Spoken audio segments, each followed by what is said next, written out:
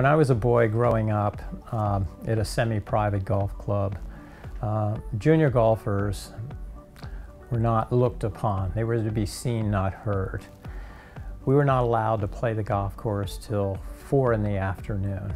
And only then could we play if in fact we walked around the golf course, we, we fixed divots, we helped mow some of the surrounds around the greens and so forth.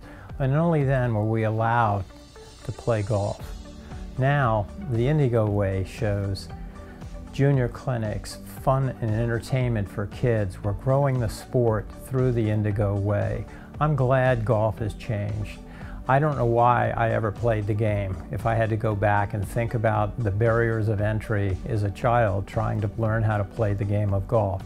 But the company is on the verge of of all kinds of programs to me that will stimulate the growth of the game, starting with junior golf and our clinics, our instructions, the technology and the equipment that's out there. It's really, really changing, and I'm glad Indigo Golf Partners is on that cutting edge.